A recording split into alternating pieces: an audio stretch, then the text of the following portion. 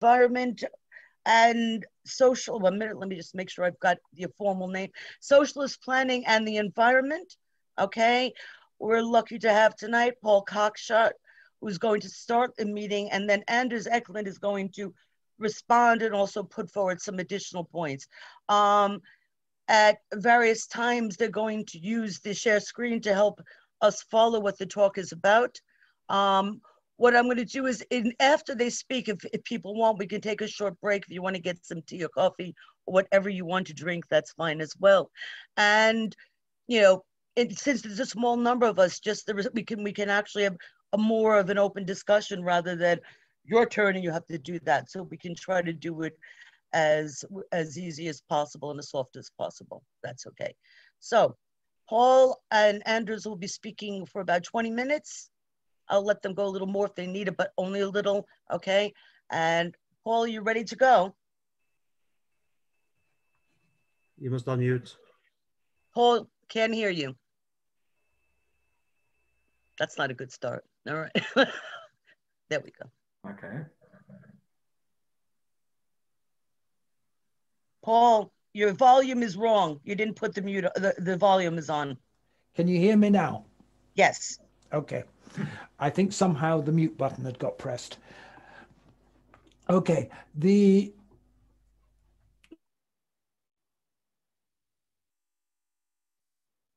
I, You sorry, mute- you're muted again. There you go. You got to mute. Sorry. It was an accident.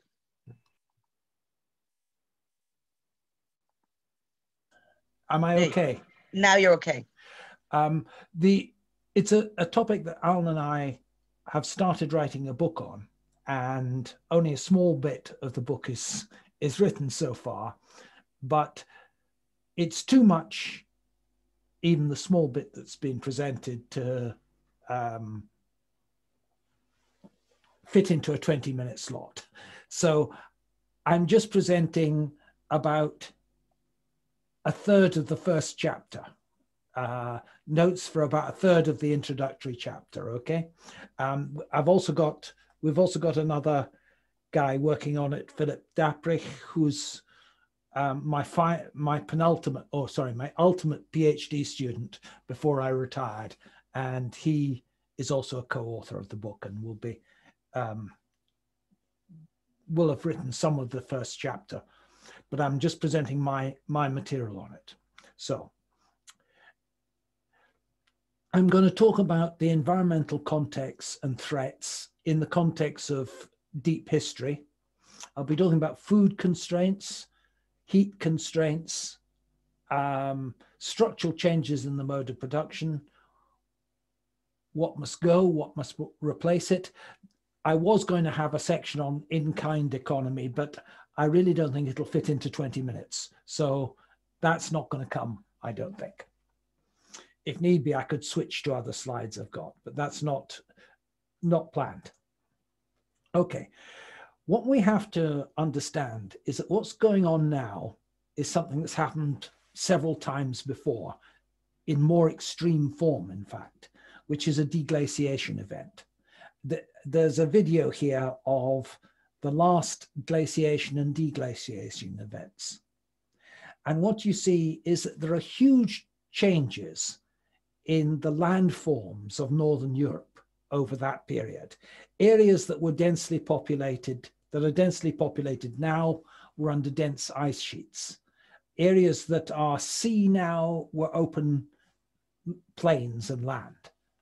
And the striking thing about it is if you watch the video, the huge shrinkage of land area that occurs in a very short period of time, historically speaking, or geologically speaking, roughly from about um, 11K years ago to, to 8K years ago.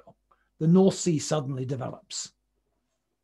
Uh, I'm, I'm taking this area because it's, it's obviously familiar to me and Anders. Similar maps could be produced of North America. So we have to view what's happening in terms of the start of a long-term process by the standards of the history of capitalism, but actually quite a short term process by the history of civilization. If you look at the Greenland ice sheet temperature records, you see that there was a phase shift in the Earth's temperature, which occurred about 1100 and 11,500, 11,600 years ago, in which there was an enormously rapid rise in temperature, 22 degrees centigrade rise. Now, that has to have been the result of a series of feedback relationships. Probably um, release of methane and carbon dioxide from recently deglaciated peatlands, possibly from um, in the shallow seas. But what it indicates is the capacity of the Earth system to undergo very rapid phase changes. Along with these, uh, now the other thing to notice, that's 22 degrees centigrade change over Greenland. Doesn't mean 22 degrees centigrade change worldwide because of the phenomenal polar amplification. Changes are much stronger in the polar regions. And if you look at the recent period, sorry, um, I'm going wrong way. Look at the recent period, the polar amplification has given a four degree rise over Greenland. Whereas the general rise across most of the world is maybe between 0.8 and 1.3, depending on the estimates you get. So there's roughly a four-fold amplification um, occurring over the Greenland area. And just as maps, since I can't uh, in we can't in our book start using people's videos, we've redrawn all the maps. If you look at the situation 10,000 years ago, at the end of the Mesolithic, very little of Europe would have been suitable for agriculture. Obviously, there wasn't any agriculture, but there couldn't even in principle have been agriculture over most of Europe. The only area that really is suitable for conversion into agriculture is, is a broadly forest zone. But within a very short period of time of that ice melt occurring and the, the rapid rise in temperature, you get the first agricultural societies arising. Um, less than a, than a millennium later, you have towns being built.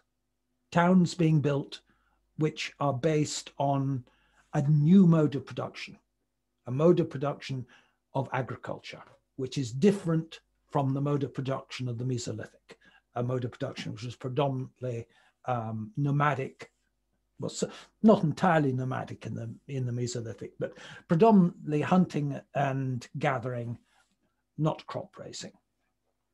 And that's a very short period of time. So you get a climate change driving a change in the mode of production. Uh, and that is obviously a much bigger change in climate than the Holocene optimum or the um, medieval warm period, etc. So you have climate change producing social change. You have the end of the ice age. You have the extinction of the Pleistocene megafauna, which had provided a major protein and energy source for the population prior to that. Hunting no longer became a viable lifestyle and this forced the adoption of agriculture in Anatolia. Um, and you, subsequently, if Renfrew is like, right, you got the expansion of the Indo-European languages across Europe from an initial agricultural population. And what's significant there is that you have a move down in trophic level.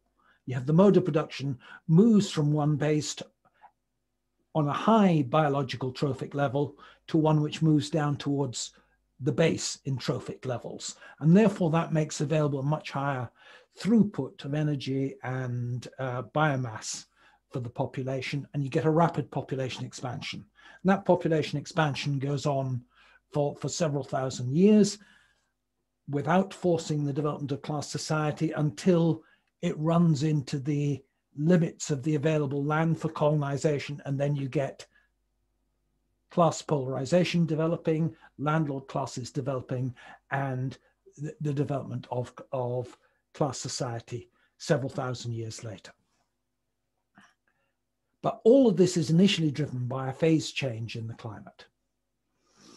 And I said, okay, okay, there was an energy change. There was a move down in trophic level to gathering higher share of the biological flux that was going through there. But you move, the, what you had was a society still dependent primarily on energy that was being captured by photosynthesis. With the development of feudalism, you get somewhat wider sources of energy. You get muscles of, of human beings, you get the labor of horses, but in addition, you get water wheels and charcoal as significant energy sources. Uh, in this way, feudalism differed from the pre um, pre-feudal class societies, which were almost entirely dependent on human energy.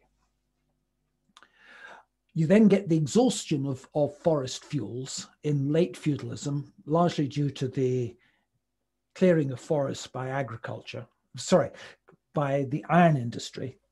Um, and therefore the, the drive to develop new sources of energy, primarily from coal, uh, steam power arising, and hence the possibility of industrial mode of production and capitalism developing.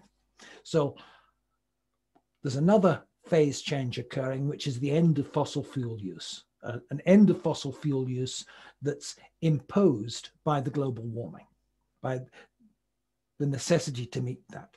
And we have to think of planning in terms of planning for the end of capitalist civilization. This is not a short term thing. We're not talking about just a political order. We're talking about an actual mode of material production, the mode of material production that has underlain um, industrial civilization. Now let's look at food first. We can expect long-term rise in world food prices. There's going to be increasing levels of famine and there's going to be widespread harvest failures. Now this is baked in even if it is possible to stop the consumption of um, fossil fuels by 2037, which is roughly the, the, the threshold for limiting it to two degrees. Even under a two degree rise in temperature, there's going to be, for example, unreliability of in Europe of um, imported animal feedstuffs. We're going to have, Europe will have problems when you get the failure of the Brazilian and US soy crops, which are likely to occur. Um, so this is almost certainly going to involve a planned shift to a more vegetarian diet. Now, obviously, that occurred in the last glaciation, a shift to a more vegetarian diet, last deglaciation. And there's going to be a necessity for food planning I'm saying in Europe because this is in part based on a talk I gave in Spain at the invitation of the European Parliamentary Socialist Group. Um, there's going to be a need for food planning to ensure self-sufficiency in the face of declining yields and yields will decline because of less favorable weather conditions if you think about it um, in terms of fuel consumption, in 2013, according to the IPCC report of 2011, there were roughly 270 billion tons of carbon left that we could still use if you're going to have even a 60% probability or 66% probability of limiting global warming to two degrees.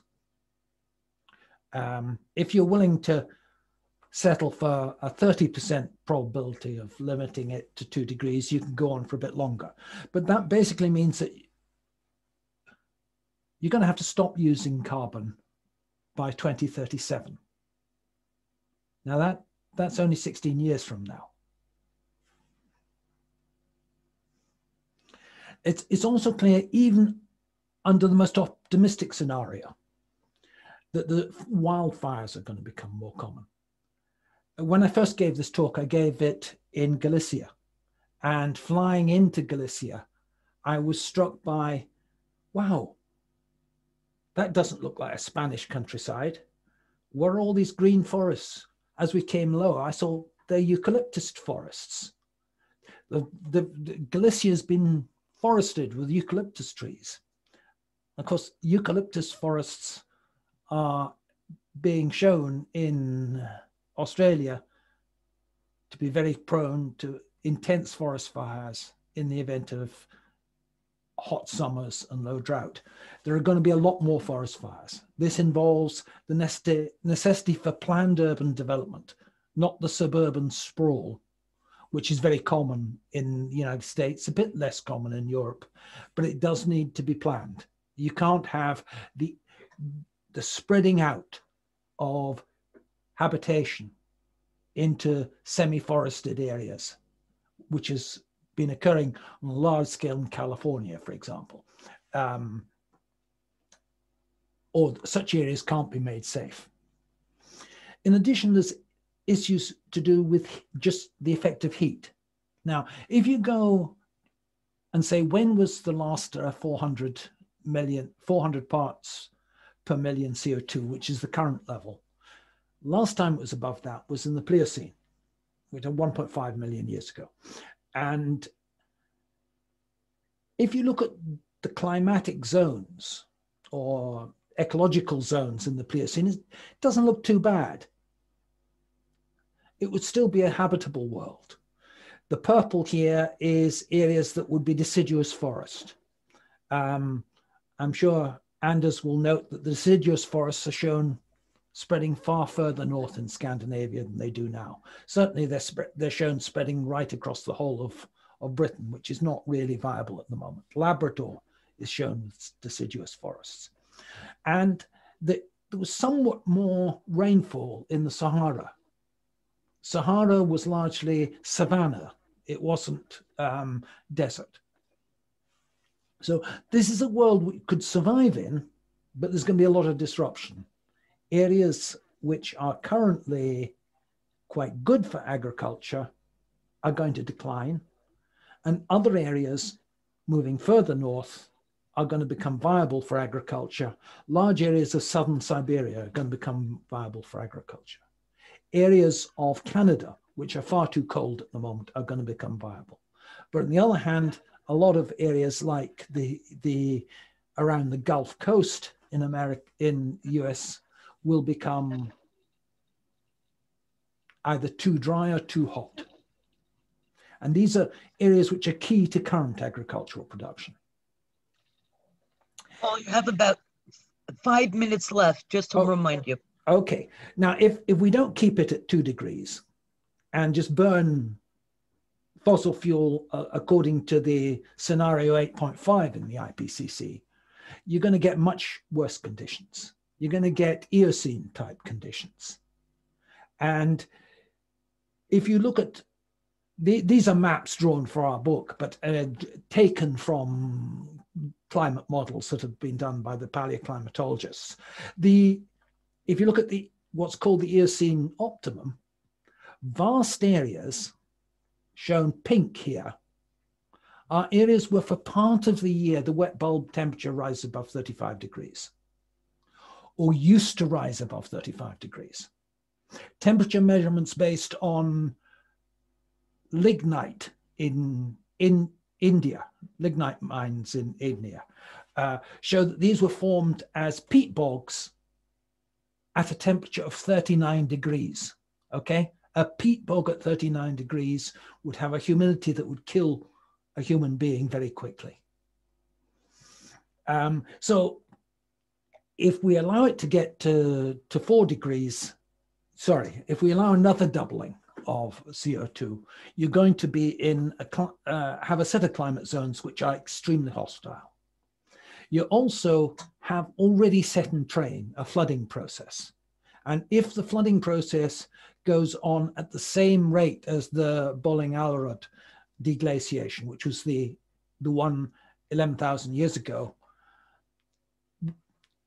you're going to in a in a hundred years you'd lose this much of the Netherlands, large areas of the west of England, etc. So you're going to have to plan the relocation of cities.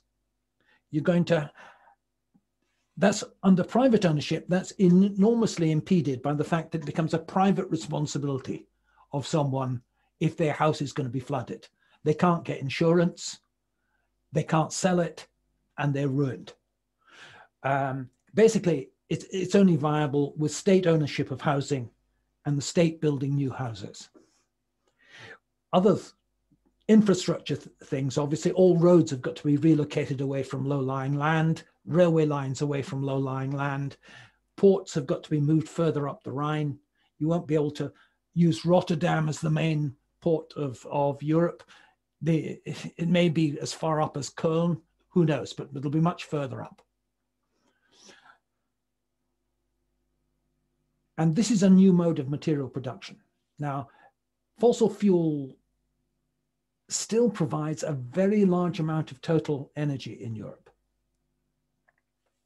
And you've got to reduce that 72% to 0% in at most 25 years, probably 17 years now, uh, which is about 3% a year, which is five times faster than being achieved now you've got to close all the, the oil and gas power stations. That means a huge investment in new power plant, huge capital investment. I haven't done the calculations of what it is yet. It means building enough nuclear and wind ones to replace other energy uses. And this is important. You've got to replace other energy in uses in process heat, in transport, and in urban heating. So it's not just a matter of replacing all the existing electricity stock. You have to replace electric power for everything else. So ships, how is world trade going to occur without diesel power? Basically, it's going to have to have some kind of uh, sailing power, Flettner rotors perhaps. Steel. Steel production is a huge carbon producer. It uses coal. That can't continue. The only uh, option the, the, which the European community is pursuing is direct hydrogen reduction. But that again means a huge extra electrical consumption. And basically, it means replacing the entire capital stock of the world's steel industry, all the blast furnaces, all the, the capital that's in coking ovens, all of that's got to be replaced by direct reduction furnaces. The coking ovens have all got to be replaced by electrolytic conversion plants. These are enormous capital investments. Basically, the capital investment to replace all the fixed capital stock in ships, trains, roads, new power stations, basic steel, building supply industries. Same, what I've said about steel also applies to concrete and brick building, brick making. You've got to replace a huge amount of urban infrastructure because so many cities are going to get flooded. You've got to build new ports and seawalls, and you've got to have agricultural planning. The only historical precedents for this scale of development are the Soviet and Chinese industrializations. Conceivably, you could say the US war economy is an example, but it wasn't involving large quantities of fixed capital stock, the war economy. It used existing capital stock to change the, the content of output. So basically, there are only two big options that's going to be possible for the future mode of production. Either a state capitalist mode of production, which by state capitalist, I mean state directed capitalism of the form that existed in the uh, war economies of the UK and the US in the 1940s, or which occurred in China in the period up to the, the mid 1960s, or a fully socialist planned economy. Both of these um, have certain common features. The state plans the main feature of the economy in material terms, not money terms. The state directs labor from inessential to essential sectors. Um, wet, for instance, there's going to be a big direction of labor away from banking and services to physical production to provide the new capital stock and infrastructure that's going to be required. There will be various forms of rationing imposed on private consumption. Uh, the state essentially is going to have to finance this. Um, and the investment in infrastructure is going to be at least the order that you currently have in China of about 45% of GNP. Typically, typical capitalist economies peak at 20 to 25%. So th this is going to require planning on a scale which the capitalist world has not seen in the main um, since the Second World War. And Britain continued that form of planning until the early 50s. But in general, it's not something which has been seen in a long time. I'm going to stop it here.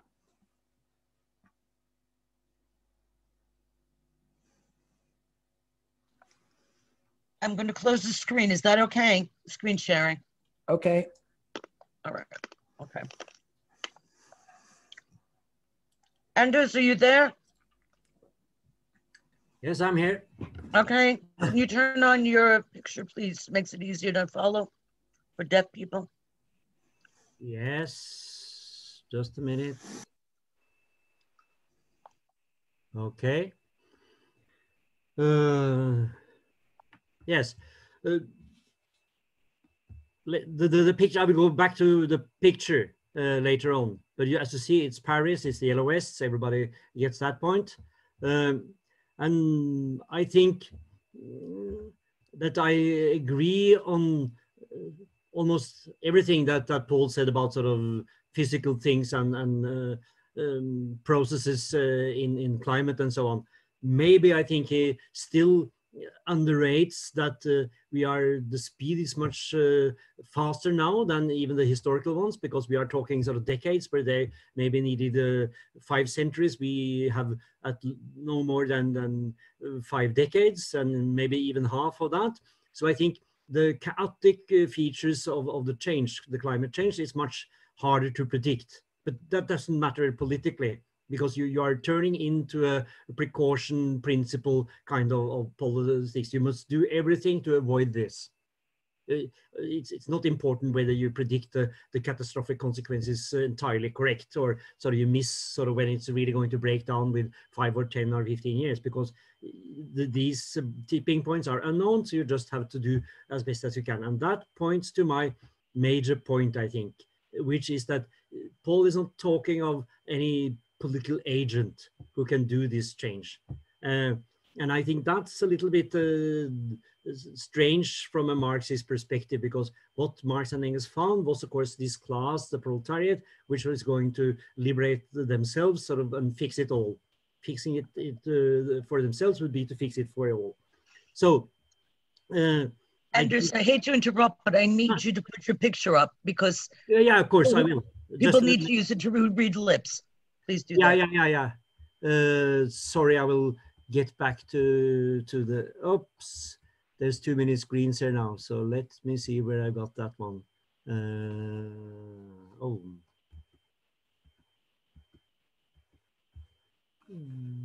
You need to go to the video.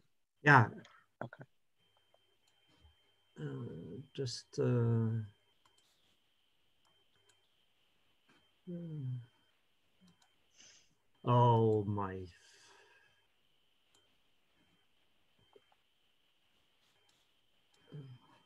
I get, I'm, looks like I'm a little bit locked here.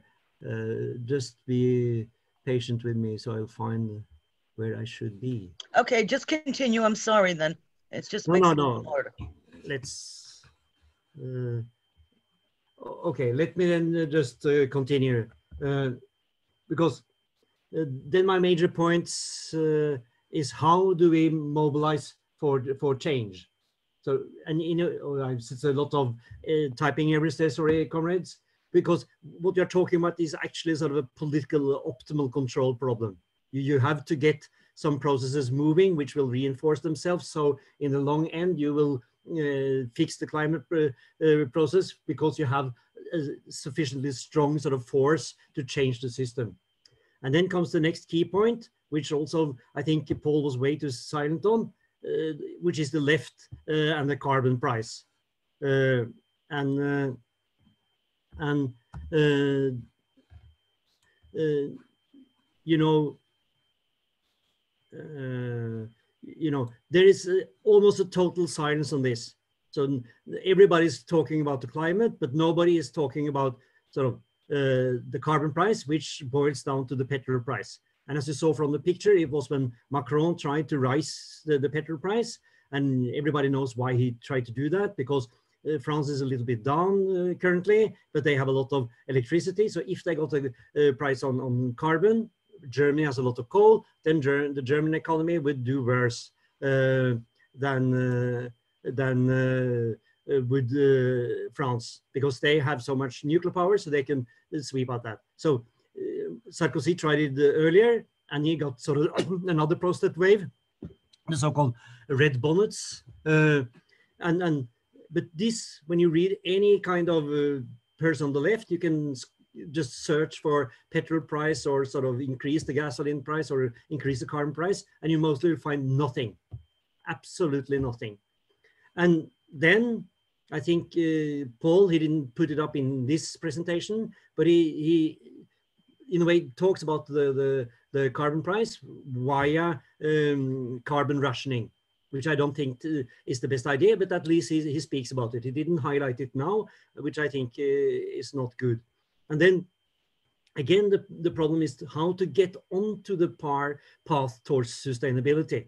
To, to, to sort of to outline the end goal is, is good that's needed but you need also to to to see who will do it and how can we get it done and then i think uh, when it comes to to his sort of model it is far too sort of centralized, to put it mildly, or autocratic, to put it less mildly. Uh, and then the key political difference between us might then be the, the, the role of self-mobilization and, and democracy. Because I don't believe that you can get any solution here. You can't get people moving before you connect their immediate interests to in sort of uh, more just society and a lot of uh, good things that we can uh, think of with sort of the, the, the long-term need, which is just as material and, and needed, um, which is a stable climate. Okay. Oops, didn't it, uh, there it comes.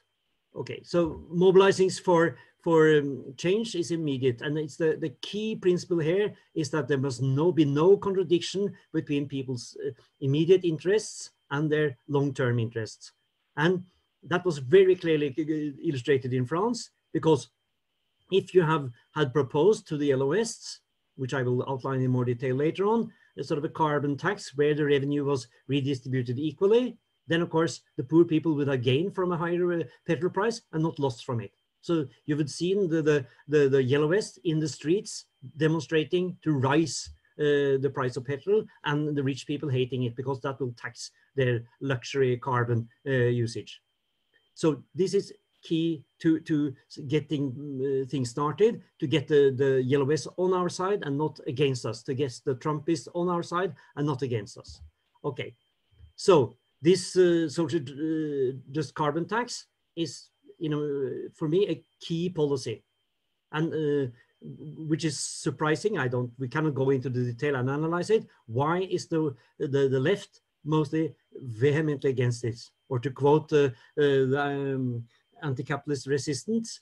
Uh, it's um, uh, hated with a ferocity which is hard to understand, to quote Alan Thornett. Um, um, and then I would argue, and this is not a major uh, point in this discussion, I think, is that Paul's carbon rationing has the, the, some weakness, weaknesses of uh, quota trading because the, the, the poor sells cheap. I mean, if you are in deep shit in the US after the COVID crisis and you have your carbon quota, you will sell it because you need food today. The rich, they will hoard and speculate to make this very sort of uh, simplified and, and uh, probably setting up a straw man. But I think that uh, a tax with equal uh, distribution, people getting some money, which they can see on their account every month, is a much better and mobilizing way to do it. Okay. Then I think uh, there is another uh, feature which is lacking from Paul's, uh, I wouldn't say thinking, but at least from his presentation, is that you have to, in a way, mobilize people as producers to do green things. And that's where I have, this is very sort of early work in progress, but my slogan is workers against waste. So that when people reduce the, the, the waste of capitalism, they take out the gain in leisure time or wages or a combination of the two. But in Norway, it will be uh, mainly uh, leisure time. So, uh, because we must not only reduce the, the use of fossil fuels, we must respect the planetary boundaries. There's no planet B. We are overusing a lot of other resources. I will not go into that. That's documented very well by other people. Uh, and we must sort of argue that capitalism is an ever expanded uh, and wasteful uh, system. It's ever expanding because it's built on increasing returns to scale. So it's most profits uh, on the last item that you pr produce. And it won't, it needs sort of new investment, new consumption all the time. So it, it is sort of threatening really um, uh, the, the life conditions or the threats nature as the condition of human uh, species. And then, of course, we must take away the, the most obvious things, military expenditure, annoying uh, ads, printers that are programmed to, to, to stop after 10,000 copies and all that kind of rubbish. Don't need to go into that. And I will just take one example because it, it, it, it is very real. It is the example of mobile phone chargers. Because as we all know, firms try to lock us in, Apple into to their charger, uh, Sony into their, uh, Motorola, you just name it and it's a lot of user frustration. And that led to uh, that the, the European Commission and everybody sort of a little uh, side here, every, why did they pick up that issue? Because they are heavy mobile phone users and laptop users. And they were so frustrated when they sort of forgot their um, charger in the hotel room and nobody in, with about 20 people there and nobody had a, a similar charger. And, and so that's why they started on it. And you know it's no impossibility for capitalism to standardize it because on uh, sort of uh, uh, on ordinary sort of uh, computers, which we had uh, 20 years ago, there is a standard electric cable, power cable, so this three pin thing. But on, on, on laptops, there's a total chaos. Okay, so they used 10 years of campaigning and forced Apple to do into it. Uh, and then we now got USB-C, which is sort of a good thing for everybody. But the point is that it should have been the working class. It should have been the unions who were sort of joining forces, demanding uh, rationality, being sort of the, the leading class in, in rational technical change and taking out the benefit of much less production of chargers and less uh, electronic waste in reduced working time. And uh, that's why I'm surprised that everybody's complaining about the oceans filling up with plastics but nobody is setting as a, as a major political uh, thing to have a deposit return uh, system in their country. US had it, the, the big uh, brewing company, Coca-Cola and sort of, thought it would reduce demand. It doesn't actually, but they took it away. China has nothing. A lot of other European countries has almost nothing. Norway has, for historical reasons, a good one. Okay, but this is, if you, if you grasp that you must mobilize people today, you must mobilize the youth which are concerned, but doesn't have a political program. So the fight for a deposit return system on plastic bottles, that's where you get people moving. That's where you get them behind our banners and not over to the Trumps. Yeah, and you could go on with a very long uh, list. Let me just take retail trade since it's so monopolized. In Norway, we have now tree change, which are taking sort of almost 99% of the retail market. And of course, the unions in those tree uh, change should unite to control working hours, which are crazy from 7 to, to, to 11 p.m., which is absolutely horrible. And, you know, in my environment, uh, around me here at sort of the rather sort of affluent uh, west end of uh, Oslo, I, in, in, in, one kilometer, I have uh, three or four of those shops which are open 7, uh, 23. And, and, it's very, very inefficient and a lot of waste of energy and a lot of waste of people's times. Okay, we stopped uh, in alliance with the, with the, church to have working days on Sundays. In the US, I hear that shops are open uh, all night, which is crazy, and so on. So we could have campaigns on and mobilize various groups on these sort of consumption reducing, waste reducing things, pointing to that the, the, the um, okay, now we are partially fighting capitalism, only so socialist system, we do this in a, in a fully rational way. But if we don't get people sort of, if we don't make sort of very visible and clear to people what socialism means, that it means something rational, that it means reduced working time, better days, better lives, we have no hope of stopping uh, this total devastation. Okay. Uh, how much time have I got, Susan? Sorry, I was muted. You have another 10 minutes if, oh, if you oh, want okay. it.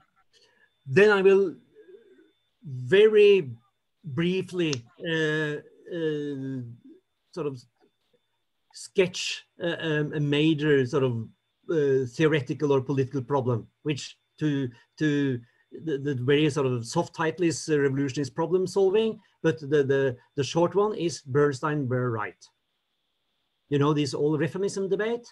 And what I'm saying that, you know, Marx, I don't have to go into it, just to remind you that system change is the uh, relations of production becoming a factor on development of productive forces, which is not happening under capitalism because it is increasing returns to scale. It's always innovative. This is described very well by Marx. And of course, then he has the, the problem in the Communist Manifesto that he has to have some some thing with the system that makes that it breaks down, that it is of society can live with that kind of uh, uh, production relations. So he says that the proletariat is sinking below his class, and then he points to the crisis which we know now that, uh, as I said, uh, the bakery bakes more cake all the time, so there is always a cake to, to, to redistribute if the working class is strong enough. And I'm so lucky that I, for historical coincidences, live in a country where the working class and the workers' movement is very strong. So I'm pretty happy. So incomes are not that uh, unequal. Sort of work security is okay. Living standards, you cannot actually complain. So reformism was a rational strategy, and the revolutionary part of the working uh, of the workers' movement was never more than any kind of minority, smaller or bigger minority. But this is very important to grasp that sort of the, the, the, pure economic problems of capitalism will not uh, initiate enough uh, sort of uh, criticism of the system among uh, ordinary people. So, so reformism will be their uh, sort of political line to eternity if it was not a uh, problem that capitalism cannot solve. And as Paul uh, outlined, and I will not need to repeat, so the, the, the, the, threat against nature, it cannot solve because it doesn't has no price on nature. So it, it just ignores it, pollutes it, uh, hassles it, does all the uh, bad things. Uh, so that is what is uh, coming up as even in the, the, sort of in middle layers and even upper middle layers as something which we must do something with, which is sort of uh, global warming, all the other things. Yeah. Uh, uh, the path to sustainability must be a short one. We have just a couple of decades. Um, and there will be a lot of uh, planned and unplanned trial and error, even before we get to socialism, and especially uh, when we get into socialism, now I'm switching a little bit over to this more sort of linear programming uh, uh, part of, of uh, Paul's uh, work. uh, which I'm not against, which I like sort of from a technical point of view. I completely agree with Paul that the data that we need for interfirm transactions and get sort of a full matrix of this, this actually exists. And I'm working like hell in Statistics Norway to get them to create the national accounts from actual firm microdata. But anyhow, what my point is that uh, democracy has a, a fundamental role to play because are, are we going to, to have hydrogen planes? Are we going to invest a lot of time and money in that? Or are we just, as, as in the old time, going to take sort of the, the Trans-Siberian Railway to, to Beijing? When I'm lecturing there, I could work for, for a couple of days on the train. If it's a high-speed train, I will be there fairly quick. It's kind of uh, 36 hours or something like that, even less. I haven't done the calculations. So this is the kind of uh, sort of very important infrastructural uh, debates that you cannot solve by linear programming. This needs a huge democratic uh, process. And on the, on the lower level, what kind of refilling systems are rational? Should we uh, stop having plastic bottle? Everybody should bring some plastic bottle and fill it up uh, under a tap um, in the shop. All of these you need to, and you need to get people on board. Uh, that's my point. We, without these kind of discussions, if you, you, you have to get people on board and then they must be uh, allowed to discuss them. Okay, so uh, uh the point here is that the, the political controlled market where sort of carbon price, energy prices, some other prices are key is not the main problem. I think that's the way that you would rationally uh, sort of use the, the, these prices. They are not correct prices in any sense. They are are uh, clearly uh, what uh, Jean Alier Martinez, the most famous uh, ecological economist, called there's no correct prices, there's only eco-corrected prices. So you use them sort of in a way to, to, with a very visible political hand to force people to change behavior because before petrol becomes expensive, you don't take the train. Before, um, when flying is much uh, cheaper than taking the train, you will take the train. And as long as flying is so cheap, there will be no night train. So you cannot go Oslo, uh, uh, Berlin as you could in the old days. In the old days, you could go Oslo, Copenhagen and Oslo, uh, Stockholm. That doesn't exist because uh, driving is so cheap, so convenient. Okay.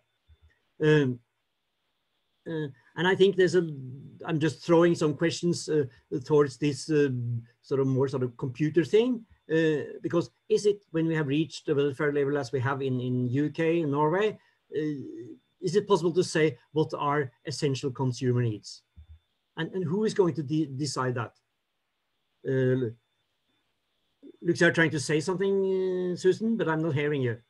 Oh, okay, okay. Um, I'm, I'm almost finished. And then uh, when the states, uh, as Paul outlines, does everything, directs, it finance, it imposes rationing, it uh, gets extensive state rights to requisition of land. Um, who is this state with such wide powers? And I, I, I we really must, you are pointing to, sort of the chain, uh, Chinese uh, sort of uh, market Stalinism, to use Tariq Ali's uh, good expression. And then I have lived in, in Eastern Europe and the people just hated that system. That was a system where the, the relations of production really became a factor on, on, on the uh, um, development of the force of production. So it really imploded according to the so what we can call the Marxian law of, of system change, driven, driven by this relationship between relations of uh, production and uh, productive forces. Okay. So that's it. That's my two cents. Excellent. I'm going to close your the, the thing if that's okay. Yeah, yeah, of course. I can. Okay. Uh, Just makes it a lot easier. No, no, I can do it myself even. I was. Uh, right, I've done it. No, no, no, no, no, no, no. okay. what I wanted to do is people need to take a few minutes break to get a cup of tea, do anything like that. You want to take about two minutes? You can get some fresh tea or something to drink. Yes. Okay, take two minutes, two and a half minutes, and then we'll come back because I have some questions. I'm sure other people have some questions. Is that okay, Ellen? Oh, so you could unmute yourself. This is a democratic thing. You could unmute yourself. Okay. Open open the mute so we can hear. Oh yes, I, I, just wanted to say I don't mean to be rude, but I, I have something else I need to get to at one. So okay, how? Oh, all right. So we won't take a break then. Let's. uh For me, we we'll let you just... raise your point, and then we can take a break after that. How is that? This way, you because it's yeah, important yeah. that you get your point across if you have to leave. Okay, go ahead. I, I have one specific question on the relationship between Paul's ideas and Anders' ideas. Um, Anders talked about a uh, democratic or sort of popular carbon tax that returns the revenue from the uh, tax collected to the people. Yes. Uh, and I think, well, that certainly sounds good, but in what form does it get returned to the people? Because I think Paul's point is also a very strong one. There's going to have to be a great increase in the proportion of the national product devoted to investment to achieve the, the change in the mode of production that's required. So I don't think the revenue from the carbon tax could be uh, given back to the people in the form of, say, an income tax cut. It has to be, you know, a, a future, a future-oriented thing. Hey, we're going to use that revenue to build the, the new infrastructure and capital stock that's that we're going to need, and certainly your children are going to need. Okay, I, I will. Let me put it that way. Uh, I mean, you have to raise the price of carbon. Uh, if not, it will be used to the end of, of, of, the world. So, so, so, uh, so the point is then when you when you raise the price of carbon, if you're going to get people uh, to agree with that, then they have to be reimbursed for the price rise, the general price rise. Of course, mostly visible on the petrol pump, but it everything which is carbon heavy will rise in price. Things which are less carbon heavy will rise less in price. So you will get sort of a shift in the economy towards fossil low or fossil light uh, products.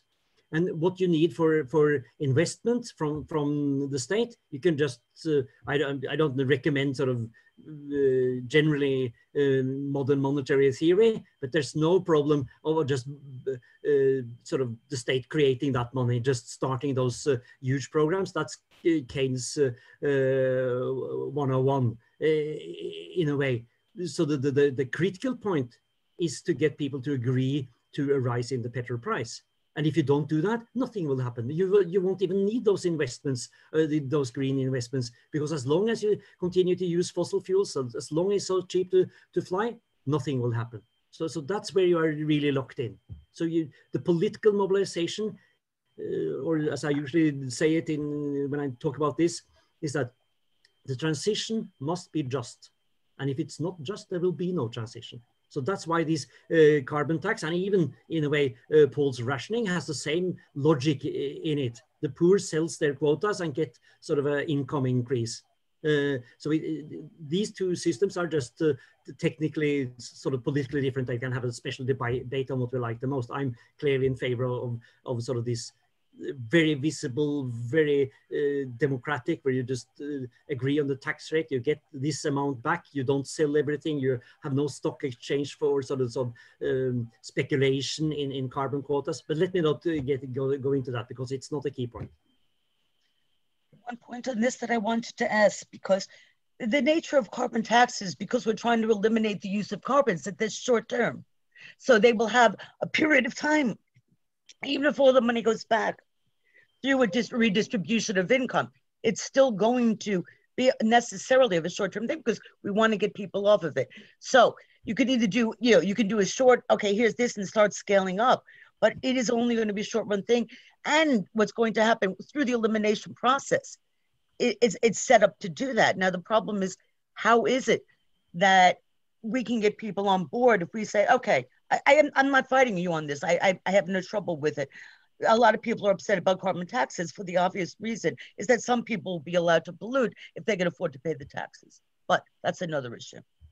Uh, okay, Alan has to to to to, to go. I need to go, but thanks very much. This was nice for being. Uh, this nice is, to meet you. We can yeah, continue this later on. It's an important. Get more people next time. Yeah. yeah, yeah. It's a great first start. Don't yeah. worry, we'll get more. Yeah. Uh, but let me uh, respond to, to, to Susan because uh, you could even this is now uh, so I mean so high on the political agenda in Norway.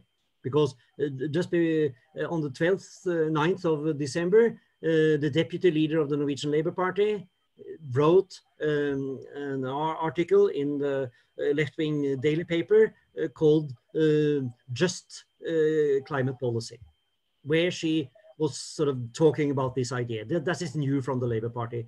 But the case is that the Socialist Left Party, uh, the, the former Mar Maoist Party and the Green Party, which are together sort of 15, 17%, they have a huge uh, increase in support and membership over the last year. All of them have in principle agreed to this uh, uh CFD, the carbon fee and dividend uh, mm -hmm. system. So the, the Labour Party had to pick it up. And then it was we are down more to the, the technical details but uh, uh, of course you would technically you would advance it so that people would get one month in advance. Before the price increase starts they will get some extra money. And then of course we will keep it stable over the year so people can plan people and business can plan and so on. The norwegian state has no shortage of cash um, not even formally have a huge sovereign fund. So the state is just buffering that because it's the political thing to get support that that is visible every month. People look forward to get sort of an increased uh, carbon uh, reimbursement and, and and and and so we go. So then you have it going. Okay like um wanted to, paul, to, to, yeah. Uh, paul had his hand raised. His physical hand yes uh you need to unmute paul I mean, if there's not too much noise in your background, you can just okay. keep the mic on the, the, there are a couple of points there. You say the, the Norwegian state can easily afford it. Well, the Norwegian state can easily afford it because it's pumping lots of oil out of the, the, the sea. Um, now, changing consumption of oil within Norway is just gesture politics real politics would be to close down the Norwegian and the Scottish oil industries. Okay. Now, the the thing about the advantage of rationing over taxing is you levy a tax, you don't know how much of a reduction in carbon production that in carbon consumption that's going to produce. If you impose physical constraints like banning the production of fossil fueled cars from, say, 2024. You know that from 2024, all the new cars are going to be electric and there'll be no further increase in fossil fuel consumption from them. If you impose a carbon ration, which is given to all citizens, and you reduce that by 5% a year, and that at the oil wells and at the coal mines, oil can only be raised and coal only raised in su surrendering of appropriate carbon ration certificates, you are imposing a physical control that you know will work. And the my view is you've got to move from a money economy and a price economy to an economy that is going to work in terms of natural units, as Neurath was talking. You have to move towards natural economy, away from price economy. And I don't think any price mechanism can reliably determine when uh, how much carbon reduction you're going to get. Uh, I, in terms of redistribution, the the ration and selling is exactly the same as the carbon tax. There's no possibility at all of hoarding because they all have to be dated. This is carbon consumption in the next three months. If, if you don't use it in that time, you can't use it. So th there's no hoarding involved. It's a, it's a flow measure, a flow rationing problem. Um, Okay. Uh, I let me respond. Uh, we could have. Uh, wait. Yeah. Two seconds. All right. let's uh, because otherwise it's just going to wind up into Yeah. you yelling at each other across across the thing, which is, and I think that I would like to ask also if other people have something they want to Yeah. say as well, and then bring them in. And then what I would like to do is, if that's okay, because there's more questions. I have questions as well, and I also have misgivings. I'm sure others as well do. So what I would like to do before this goes into this, um, let's see if we can. Oh, there we go. Jerry, would you like to say something besides putting it into the chat?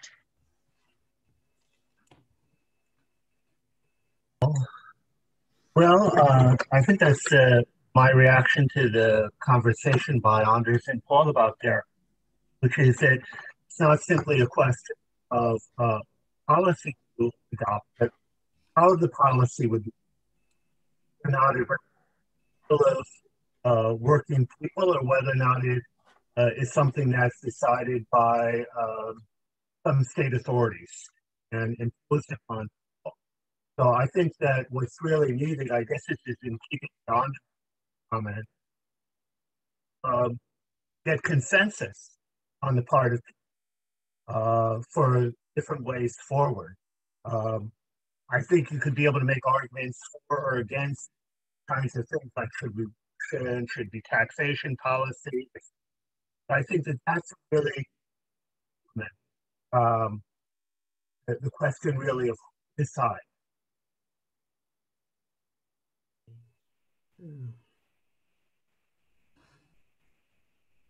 Would anyone else? Go ahead, Paul.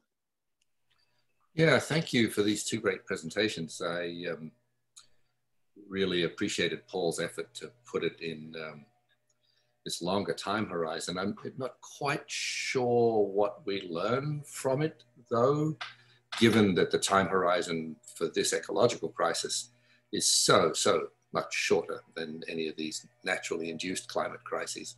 I don't think we've got anything comparable in the rate of change. And arguably, it's the rate of change associated with the challenge we face today with the climate crisis that is the strongest argument for a socialist response, a socialist planning response. Um, the market, I don't, you know, I think it's a pretty hard to see how market economy adapt, adapts so rapidly, so comprehensively in such a short time.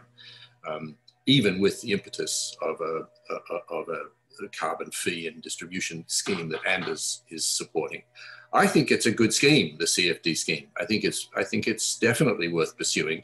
I just think it's a tiny part of the much bigger process, and it can, the taxes can be combined with regulations, need to be combined with regulations taxes and regulations need to be eventually will rapidly exhaust themselves in their ability to solve the dramatic problems that Paul was referring to, relocating tens of millions of people away from flooded coastlines, rebuilding urban infrastructure. I mean, there's so much that state investment that's going to be required.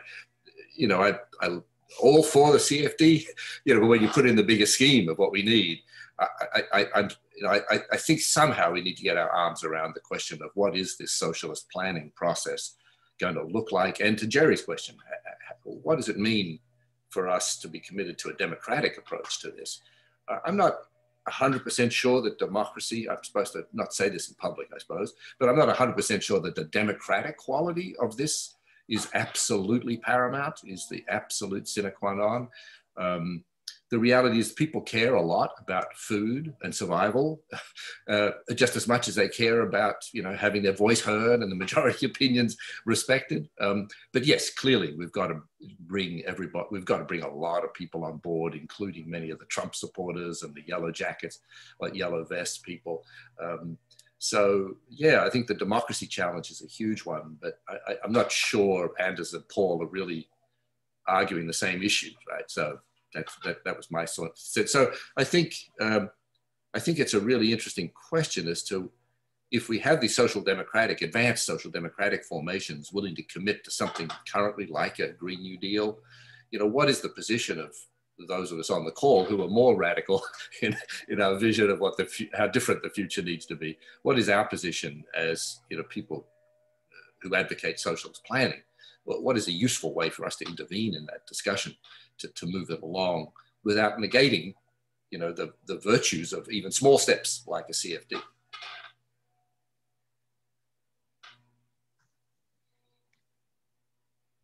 Dave, would you like to speak? I don't know if he's there. Okay, I have a question while waiting for him. I mean, one of the things that you know, unfortunately that popped into my mind when you said it's only socialist planning that can do this, I have horrible nightmares of Nazism, okay? And it's the authoritarian nature of the situation that we have to be very careful or we're not gonna have people on board. And this is the thing that makes me very concerned because I think I've had more than enough of uh, what is socialism? So, and you have a state that is imposing things rather than bringing people with you. And i think that's one of the most important things. If we don't bring people with us we'll always have resistance. And then whatever socialism that we have will not be a socialism of the people but a form of state capitalism which or even worse a degenerated uh, socialist formation, which we've already experienced the problems with. So I want to see if we can ground it far more in the support of the population. We know we have young people, but young people are not enough to bring this. We've got to somehow figure out. And I think I, you know, I understand what you're saying. I agree with this point, but I and the thing that really worries me is who's making decisions in, in the state, who controls the state. And this is mm-hmm. something too. And this is one of the problems on, on, on the Green New Deal, for example, in the US what state are we talking about? We're talking about a state that is essentially run by the ruling class. And the only way that this state will actually do something, you know, whether is if, if they're essentially forced into it or they see no other solution.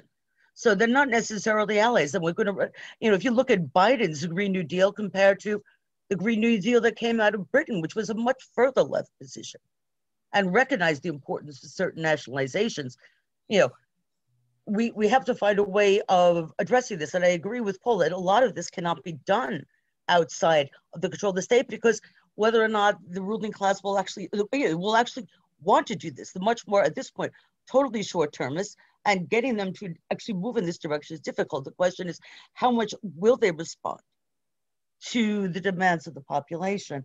Um, and one of the biggest things when we're talking about banning fossil fuel use, we also have to offer full free public transport, for example, on the consumer level. We have to shift the type of way that goods are transported as you raise in transport. So we need to move towards rail. We need to move towards rail, which is which does uh, you know there is a whole framework, for example, up the up the spine of Britain, of England, all the way up to Scotland, that basically hasn't been used for ages. Can we move this for freight train? How do we shift and develop that? Because you can say, well, you can't use cars anymore that's fine. But unless people who are living in rural areas actually have public transport, which they can use, then basically you're making the situations impossible and we'll never get the support for it. So we need the support for that. And we have to make sure that people can access things. And so this becomes a very important issue. So that's what I wanted to raise. So go ahead, Paul. And then then we can let Anders go back in. If, can I what this book is, is that I'm working on is in response to a specific request from a publisher to write a book about planning and the environment. Um, Allin and I have a previous book, Towards a New Socialism, which talks about planning and democracy and the need for direct democracy and plebiscitary mechanisms. And I have done a lot of work in the Glasgow Computer Science Department on developing plebiscitary voting systems with mobile phones that enable the general public to vote securely on topics uh, to do with resource allocation and do it in a way that is verifiable, unlike the US uh, voting system, which is causing absolute chaos at the moment because it's not verifiable. And th these are things which Allin and I have addressed before, but we're not doing it in this book. So yes, you do need to build mass support for, the, for it, and it will be reflected in politics. But on the other hand, states exist to perpetuate the general reproduction of society under the existing mode of production. And when this is threatened, as it is, is exampled by the COVID crisis, we see that even capitalist states in Europe are willing to take very radical measures in terms of expenditure, which they would not normally have dreamt of. And this is just a small foretaste of the types of things that are going to happen. And even the bourgeoisie will end up feeling they have to support some form of planning. And we know from the past experience uh, of the war economy that when a large part of the economy was under state control for issues of national survival, this changes the whole political atmosphere. It no longer appears to be something that is, the economy is no longer just something like natural forces. It becomes something for political debate and political decision making. And the general public realizes that. And I think that will be an inevitable result of it.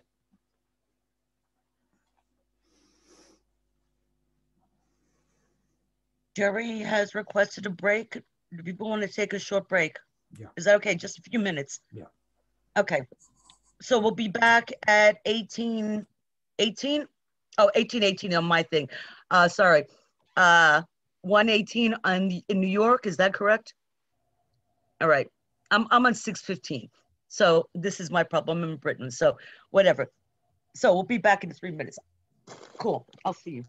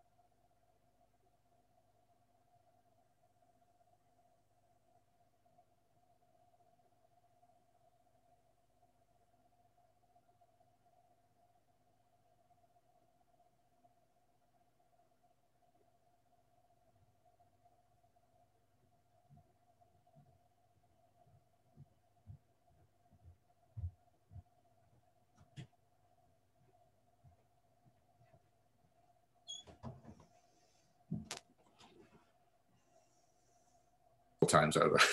often come back to it. But um, it, I think it would be a pity if this new book of yours uh, didn't find a way to address the democratic element of the planning that you say is necessary. It's it weighs so much on people's minds um, that we find a way to ensure this sort of planning is democratic. You've already done all the work.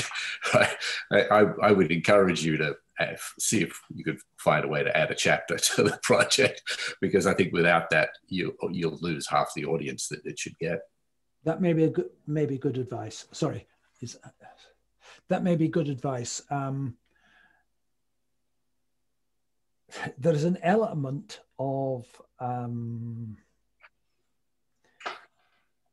feeling that I've written about that so many times before that you, you you think, oh God, do I have to rewrite that all again? Um, so so maybe yes, maybe we do put put, put stuff like that in. Uh, at the moment, we, we've we've got a relatively short request a request for a relatively short book from the publisher, um, maybe 130, 140 pages, so that we, we've we've only got six chapters outlined in it. So we'll have to see whether we can fit that in. Yeah.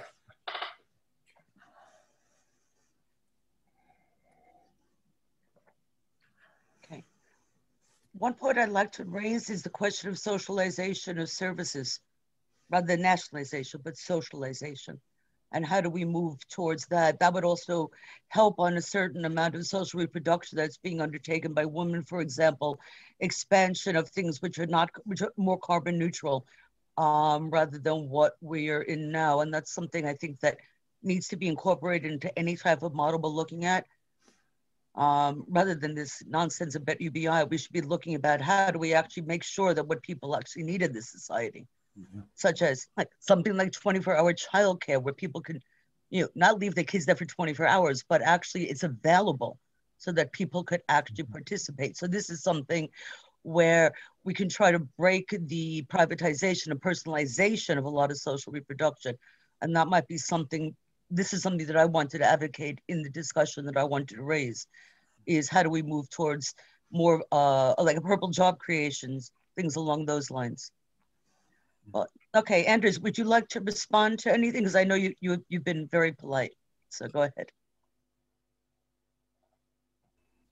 Yes, of course. Uh, and before I start, uh, let me go a little bit back to the Yellow Vests because uh, it was an A opener that nobody on the French left, which I have seen, proposed either Paul's scheme or my scheme. So, so before we sort of uh, go at uh, each other's throats, we are actually in sort of in a, in a, political alliance. We can then discuss, which I will do uh, in a, a, couple of seconds, uh, which of the schemes are more in, in appealing to people which are the simplest to grasp, which will be getting most support, because it, this is a pure question of, of how can we get uh, the, the West on our side and, and, not on the other side. So, so I'm, I'm completely open to, to a discussion that. I've been in that discussion uh, a lot since Norway, uh, by some historical coincidence, uh, which I am involved in, is the country in Europe where uh, any kind of carbon taxing is the most popular, adopted by three um, three part the three parties on the left. There was a huge alliance of of Greenpeace, uh, Friends of the Earth, uh, uh, the the Public Employee Union, and so on. The ma major unions who recently sort of had a manifesto where the first point was this green and just uh, tax reform, which was CFD, just with uh, with other words. So, so, so it's getting it into these mass movements, which is, uh, uh, is key. And then I would say, uh, when it comes to the technicalities of, of increasing the carbon price in a just way, that it is less important to control the amount because the amount is going so you're going to be down so rapidly. So if it in five years are is this or that doesn't matter because you just increase the price uh, until uh, you can follow that process and then uh, you can speed it up or slow it down. Mostly you would speed it up and, and then you will go to zero because you know, in Norway, we have uh, high taxes on alcohol because we want to keep the consumption on a certain level. We want uh, not to eradicate it completely. So that's two different processes. And then when you know that in 15 years, we should, if we are lucky and happy and do a good job, we should using zero. And then uh, the, the, the, economic predictability, the price, which you then can control with a tax, it's much more important, much more visible, much more democratic. What people get on their accounts will, I will not, they will not care about how many tons it is in the atmosphere. I'm sorry to say, okay, they will care in a sort of broad sense, but they will not care if some, in some more sort of uh, neoclassical sense that we reach precisely this target that year as planned. Uh, that is not important. So I would say that the price is better than, than, than physical rationing. In a way, they are the same. When it comes to, to, to sort of have a short-term market and you say they are dated and so on, I overlooked that probably in your slides. So, so I just then said that hoarding will be uh, kind of a, a problem. But uh, to repeat that, the main problem is that nobody in France proposed it uh, Maxime Combes, who is the main economist for Attac, wrote sort of some kind, uh, I would say, sort of saying it, it's too little. He says, and he's right. Macron increases too little to have an effect. That's quite correct. Uh, it was uh, uh, not uh, social just, which was also utterly correct. But Maxime Combes and Attac in France, so what? They just left the price as it is. So they had nothing to say. I watched several hours uh, of, of uh, both uh, Besancenot and Mélenchon in French, saying a lot of things about social just, justice and all kind of aspects of, of, of, French politics, but nothing on the petrol price. And this sort of silence is, is a bad omen. All right, okay.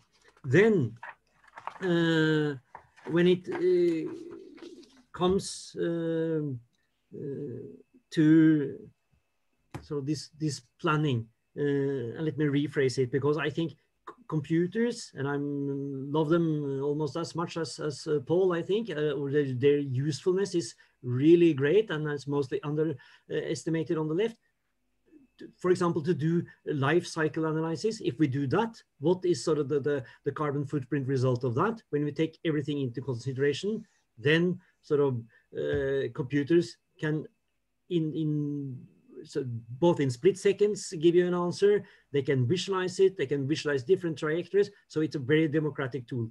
But to get people sort of uh, when people are in the retail shop which is closest to me you need them to take an initiative. What can we do to get greener? And if we want to do this we will lose out in the comp competition if we do the, this and that.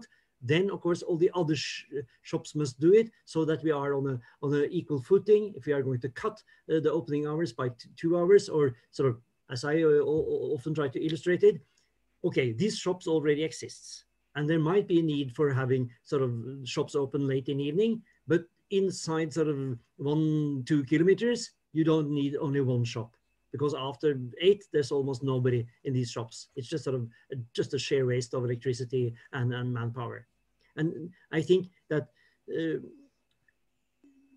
the, the, the, the, the importance of engaging people in sort of forming society and sort of emancipating and being some a, a, green activist as a producer in steel mills I'm a little bit more uh, optimistic when it comes to the steel mills and hydrogen replacement, but that's a completely technical thing.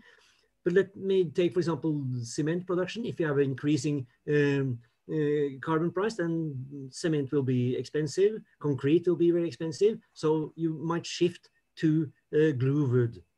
Recently in Norway, since we are a wood nation, we built, uh, just for demonstration purposes, a 84, um, 84 meter tall building with sort of glue wood. I'm collaborating with Chinese researcher on glue bamboo.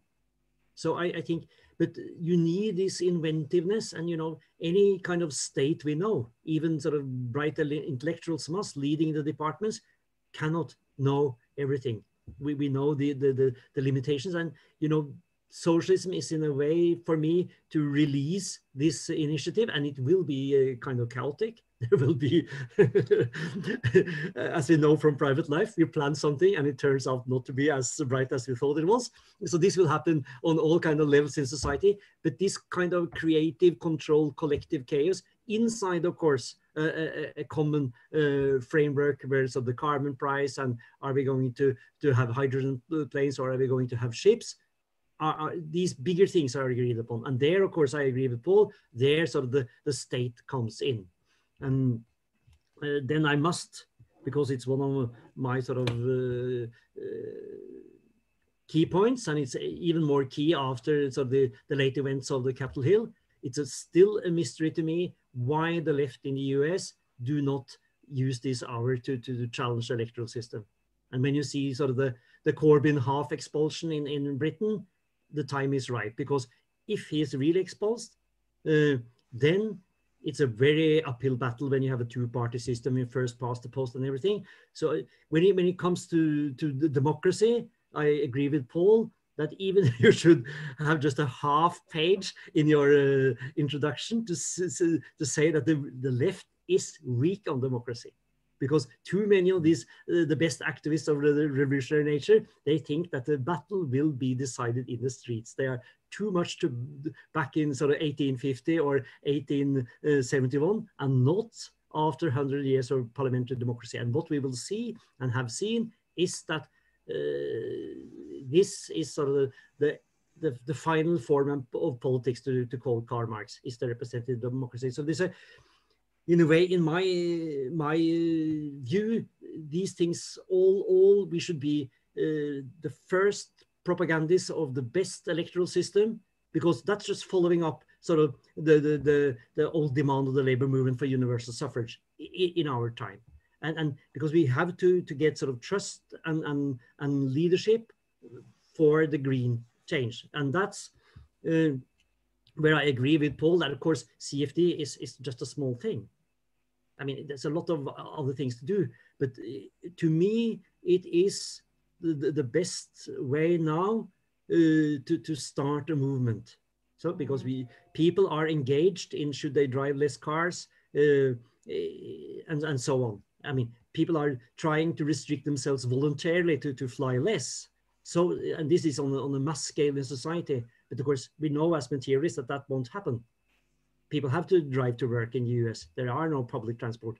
So, so, uh, so, so, let me just uh, end on the, this chaotic speech because to illustrate the difference in, in sort of political tactics, I would say most of the left in Norway is in favor of a ban on fossil fuel cars in 2025.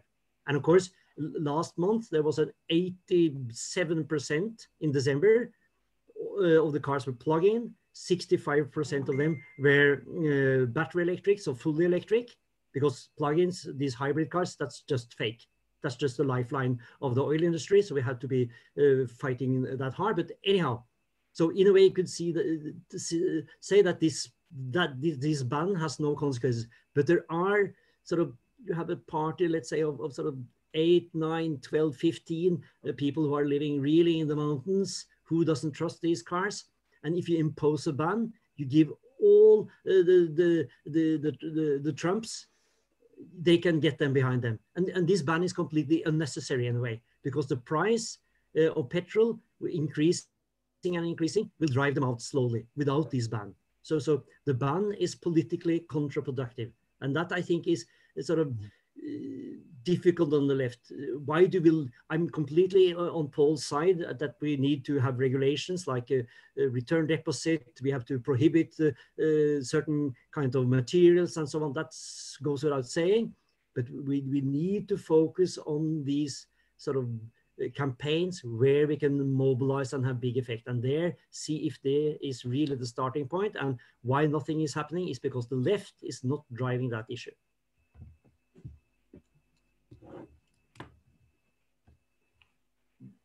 Yeah. Sorry, Paul, then myself. Okay. Um,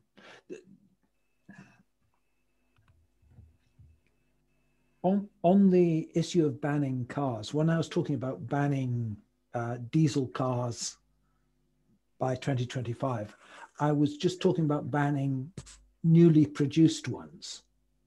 I'm assuming people can go on driving the cars yes, they already yes. have. We are talking about the newly produced ones. So that the, the person who lives up in the mountains and has got a diesel car can go on running that until it wears out when they'll have to buy an electric one. Now, leaving it to the market, though, is never going to deal with it because in order to reduce the dependence of the country on cars, that's only a small part of it you've got to reduce the dependence of the country on lorries. Our, our whole economy depends on lorries moving things. And long distance electric lorries aren't viable. The, the batteries just won't last. So a lot, a lot of old railway lines are going to be reopened. A lot of new railway lines are going to be built. The capacity of the railway lines has got to be stepped up. And that is big, big capital investment. Um, and just on this issue of, can I share a screen for a moment um, and show, show, a diagram? Um, can you see that? No. No. Not yet. Can you see it now? It's yes. Coming, coming, yeah. Okay. This is from my last book, How the World Works. And it's a plot of the growth rate of growth of labor productivity over the years for all, for a, about half a dozen or eight leading capitalist countries. And Anders is doubtful about the relations of production being a fetter on production. I think you can actually see it. You can see it in the decline in the rate of growth of labor productivity. Um, so it's slowed down enormously across the capitalist world. The labor productivity is growing at a fraction of the rate that it used to grow in the early 20th century. We're way past the period of rapid technological uh, development. Uh, if I can get another graph which shows it even more starkly, this shows it for Britain. Okay, um, the labor productivity growth. And if you regress that, you see it, it's projecting down towards zero. The, the, the capitalist property relations or private capitalism really is a fetter on the, the development of production. And that's really serious, really, really serious, because we're now going into a period. Hold on, how do I get rid of this? Um, stop sharing. It's on the, on the top of your screen. I'll do it for you, Paul, if you need it. Could you switch off the sharing? Yes, I'll do that. Okay, it's done. Okay. Um, it's really a serious issue because we're going to require a huge level of investment, a lot of rebuilding of, of towns away from the sea, all these kinds of things at a time when energy costs are going to rise, because there's no doubt that the amount of number of hours of labor you have to put into producing energy by these non-fossil fuel forces, forms is greater than the number of hours you have to put in to produce a kilowatt hour from oil or, or gas. So that in terms of labor theory of value, the labor cost of all sorts of things is going to go up because they're all so dependent on energy. And that means a decline in the productivity of labor quite generally. And that's coming on top of a period when the rate of growth has almost hit zero. So, I mean, we don't have huge reserves of, of productivity to meet this. It's happening at a time when productivity growth has, has really slowed down. Now, partly that's because the level of investment has gone much is much lower than it used to be. Why? Uh, okay, I can, you know, why, okay, when we go to the nature of technical change in the capitalist economic system, if we've destroyed wages, they have no incentives to introduce exactly technology. So. And exactly we so. have to understand that they destroyed wages. Okay, there was a deliberate destruction of, of, not of the subsistence wage level. In Britain, for example, they actually decreased social subsistence wage levels. So if this is the case, the introduction of technic, technical change or the introduction of investment in things that would increase productivity is does not happen because it's not profitable. This is basic uh, discussions on competition that we find if you read uh, read Marx or read Shaikh. This is so the problem.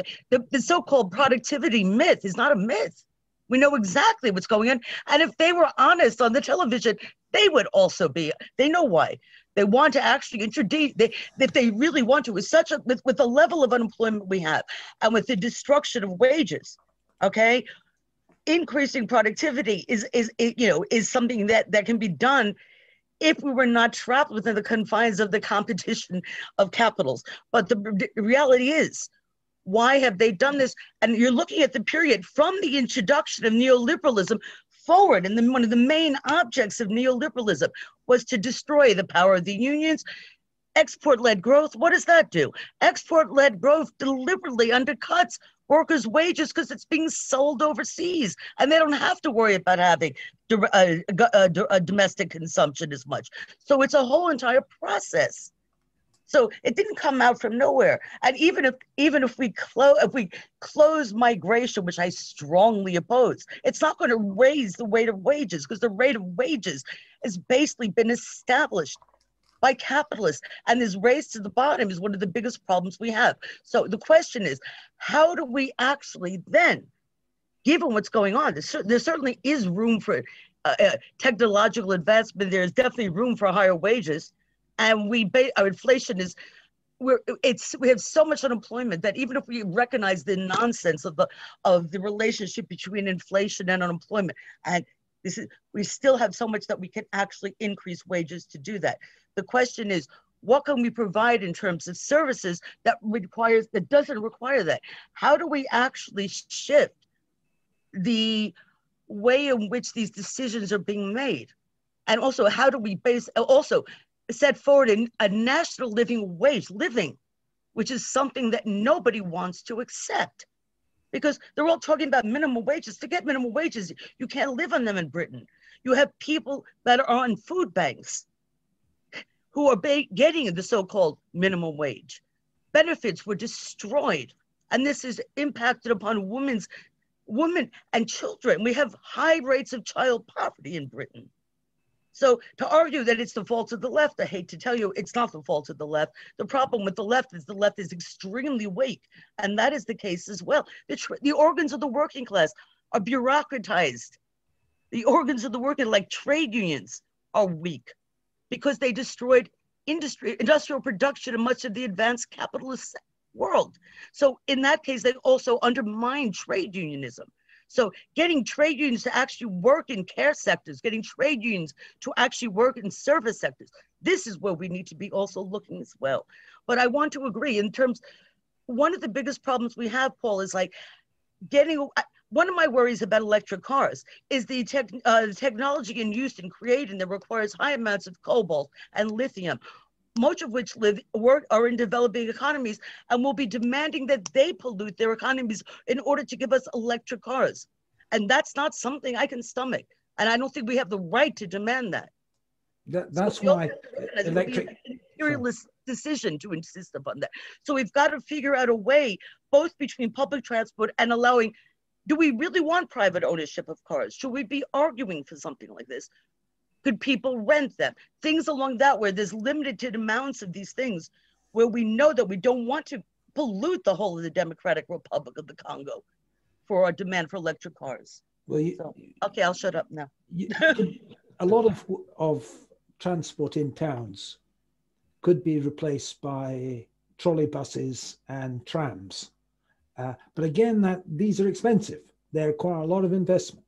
Um, and I think it's misleading to think that we can go through the transition to a green economy without consumption taking a big hit. The question is whose consumption takes a big hit.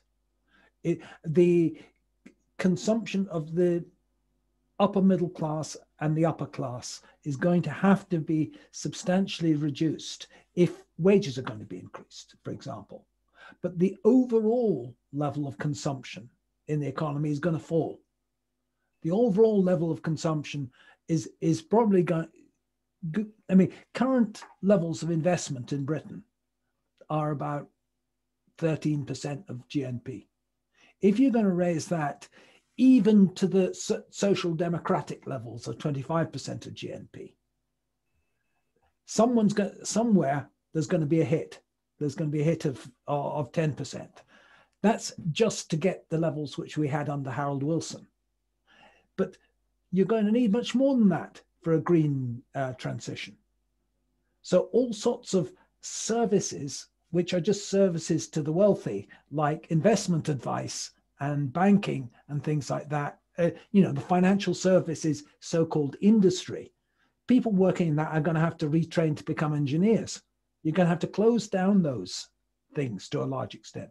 Now, that kind of thing was immediately recognized under wartime conditions. These were de designated non-essential uh, jobs, and the people were just um, conscripted on the other hand, if you're a, a welder on the Glasgow shipyards, that was an essential job. Now, there's an, a comparable thing that will occur. As soon as you start planning large scale investment like that, you'll find you have to start redeploying people to, to other things.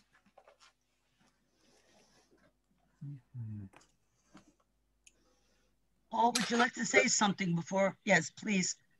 Yeah, Maybe I can uh, just ask a question uh, since all people on the call have obviously read a lot about all these environmental issues. Um, I've been struck by how little attention people have paid to um, the argument that Kevin Anderson and others have made that the idea that we need to get to net zero emissions by 2050, maybe that's right, but if it is, it's only that would only be true at the global level. Given the trajectory of carbon emissions that uh, we can expect in India and China, his argument was many years ago already that the advanced, richer countries of the North have to reduce their carbon emissions by zero, essentially today. We should have done it to, to zero today. We don't have tonight till, till 2030, let alone to 2050. And um, what that tells me is if that's even halfway right, um, we're, we're headed into a period of inevitable massive crisis. We, you know, and every environmentalist that I've ever met tells me, even the ones that are out there trumpeting their support for pissweak schemes like cap and trade in California, in private, they will say, I have a cabin in the mountains. It is very well stocked. I know this is impossible. We are way too late. We are headed into catastrophe every single one of them. Um, and I, I, I, just think, I wonder what our politics and what our, rec- what our policy recommendations need to be in order to uh, be ready for that moment of crisis, that Pearl Harbor moment, you know, when, you know, in a, perhaps in a one summer season in the United States, you know, we have three or four major cities that are really swamped. You know, we have millions of people evacuating, perhaps associated with fires in California. I mean, these scenarios, you know, we're, we were almost there last summer in the United States. But, but, for the grace of God, we would have had another couple of major hurricanes that swamped major cities. And then it, all hell breaks loose. And where is the left at that point? Where, what, what does the demand for democracy in responding to a crisis look like? And I think we, you know, both Anders and Paul have portrayed, you know, given us different answers as to what a sane approach to policy would look like in the short term and in the long term. But in the intermediate term, we face this massive catastrophic crisis risk. And I wonder, uh, I've, I've been trying to get a sense of what a left politics looks like by way of preparing folks for to deal with that challenge politically and policy wise at that moment. I wonder if you've given any thought to it, or, or perhaps you think I'm exaggerating mm. the likelihood of this sort of crisis breakdown within the next decade or two. Okay. Susie's muted and I'm unmuted. Yeah, go ahead, Anders. Would you like to say something? Go ahead. Yeah, because I've got uh, another net meeting at, at uh, eight o'clock. It might I might go a little bit over, but not uh, very much. Uh, and uh, I think it's been a very fruitful thing. I will uh, read uh, Paul's book uh, towards the new socialism. That uh, missed my was under my out of my radar, so maybe I've been a little bit unfair to, to him on some points. But uh, let me try to combine Paul and, and uh, Susan because, and again, CFD is the best way you can increase wages when labor unions are weak. So, so you, you you, you got to start sometimes. Okay, unions are weak, but there's a green rhetoric from, from the upper classes. Uh, all the economists are recommending some uh, kind of fair or unfair uh, carbon tax, mostly unfair. So, but my point has been that you could use this green rhetoric when the left is weak. And you should use it because you're in a way pulling in people who are a little bit um, more well off, but concerned about the green issues. And those who are, so the yellow vests are, as I said, we have to care about the end of the month and not the end of the world. So you, you need to, to, that's what we, that's why CFD is so crucial. It's a big campaign, easy to understand. You can get it rolling. You can get people's uh, sort of trust. I'm an old Maoist, and you know we sort of really looked for how to get people's trust because then you could manipulate them.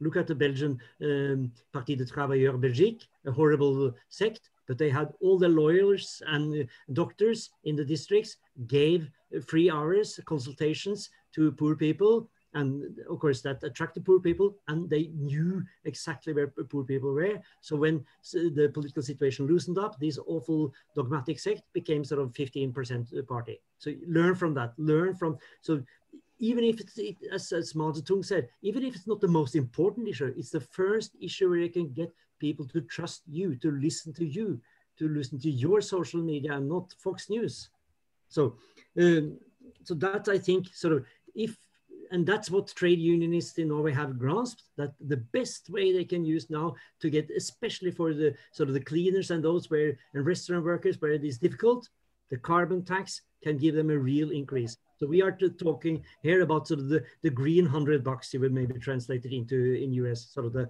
the the, the green thousand kronas, one, ten kronas one pound. So it's a sort of the the the, the, every person should get uh, 100 uh, pounds uh, each month on their accounts. So family will get 2,200. The children will get, you can discuss whether it should be half rate or a full rate. I'm more sort of a full rate person. So a family of four will then get 400, which will be very visible, very uh, good. Why should we do that? Okay, a couple of points on the electric cars, just to illustrate one point, that the left is not looking towards socialist technology because these horrible Teslas, sort of a two ton car is not necessary. The Swedes, because they have a, um, uh, car industry which is, is, down in the drains, they're experimenting with putting the power in, in the road. That means that you need maybe sort of a battery that gives you 30, 40, 50 kilometers, one tenth of the Tesla battery. And, and, and, but that is a social infrastructure. That is a social infrastructure, and capitalism abhors social infrastructures. They cannot even change batteries. So you have to load your individual battery. There were people proposing that you just could shuffle in one battery and, uh, uh, and take it the, the, the old one. Doesn't happen in capitalism. It's the same thing with, with the, the cell phones and chargers. That kind of social infrastructure doesn't happen. And that is one very good argument today for socialism and, and sort of public solutions. Uh, and uh, because I agree that we should uh, take the trains, but for the last mile or the last couple of miles, uh, lorries have to, to do it. And there, Siemens is uh, doing trolley lorries. You can look at the airport outside the uh, Köln, and they have trolley lorries experimenting. Uh, outside Arlanda, the, typically those lorries going from, back and forth to the airplanes. And at Gotland, they are putting, so they have wireless charging of the cars in the road. So, so you, and, and that the, the point is not these technicalities, is that this kind of social infrastructure is not possible in capitalism, and that's an argument for socialism. Um, and uh, I did have some, when it comes to labor productivity, uh, Susan has a good point, but I have another point that we, which is spreading more maybe in uh, Northern Europe. Do we need more things? I mean, we need other things. We need more nature, peace and quiet. We need sort of rewilderness. So, so I think to, to say the horror of, of capitalism is that the labor productivity is slowing down and people are changing their mobile phones uh, every second year. When you are sort of obesity is a problem, there's a consumer pressure, which means that people, there's a use and throw away society, which people abhor. So we have to, uh, so the, I'm not scared to death, uh, and I don't think actually that that uh, capitalism has been uh, fetter on on the uh, development of the productive forces in in Marx sense, even if labor productivity is, is falling. But even if that was the case, I mean, it's it's not a political issue. It's much more this veganism where people try individually to do something about this uh, unsustainable lifestyle there is where the left has to to attach like like fair trade. Fair trade was not driven by uh, by the left. So so again my main point and i will stop on that is that we have to if we are going to make any headway we must look for these issues and make them into a program. So i uh, think it would be good if corbyn uh, went for cfd and uh, alexandra ocasio-cortez uh, almost did it but then she was, it was watered down. Naomi Klein, not personally, but in her book, and if you look at her backing papers, she mentioned this. But it's first when CFD becomes a major common campaign worldwide that things will start. And let me take one single point that in in the, the, the in Paris in 2015, the left had no demands, no concrete demands. There was only system change, not climate change. So I am not trying to, to get good forces in Norway and Europe to agree on three points. There should be a complete ban of all offsets, all fail, this fake uh, uh, swindle, uh, uh indulgence kind of, of trade. So you, you, you don't you put up a forest and then some other one can continue having a, a coal power plant, which is completely horrible. And then secondly, you should uh, tax international uh, shipping and trade, which is proposed by Oxfam and, and World Wildlife Fund. And that would raise a lot of money for investment in the South. They propose it to go to the global South, which I agree on. They, they propose that it should start on uh, 25 US dollars, but it should increase with $10. And then Brazilian soya should not be transported all over the world to, to Norway to feed our livestock. That should, of course, be Norwegian grass, which we did in the old times, and we can survive on that. And uh, thirdly, if you in your in your country introduce uh, uh, some kind of carbon prices, I could if there's a majority for for uh, rationing, I will go happily with that. but uh, okay, let's take that debate later. But, but the point is, we should every country, the left should demand that that there should every country should as a part of their contribution to the Paris Agreement have a carbon tax of 10 USD, increasing with 10 USD every year. Then the carbon tax in, in Europe would in four years be higher than this fake quota price which we have in Europe now, which is in a way the best quota carbon price you have worldwide. Actually, it, it's completely fake. I don't. Uh, so, but it, since it is existing, that's where it's a handle where the left can get into politics. I'll stop there. Thank you, Anders. Jerry, you want to say something? Yes. Uh, well, I think that the the debate has to be uh, situated more. Um, you see me? Uh, I'm oh. seeing you, Susan. I can see you. Yeah, we. Okay. Um, I think it has to be situated with national content. Uh, even mainstream environmentalists have understood in recent years, you know, the need for uh, climate justice. And um, I think that um, is uh, how do we think national policy? How do we build a, a international movement? And how do we express international solidarity so that actually be able to come up with policies that really deal with the problem of climate change because the problem, the solution for climate change within a context of a global problem and it requires global I think that that's one of the major reasons in fact